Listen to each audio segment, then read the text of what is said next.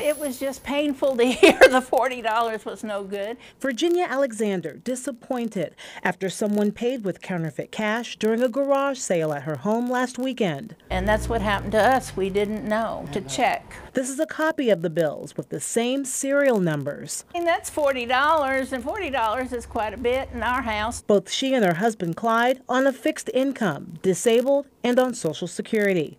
Her husband went to the bank to make a deposit only to find out the bills were bad. We needed groceries really bad. Sure. And, uh, because we keep up our bills, but sometimes we don't have any money left for groceries. The bank gave the Alexanders one of these counterfeit pens so they could check their bills in the future.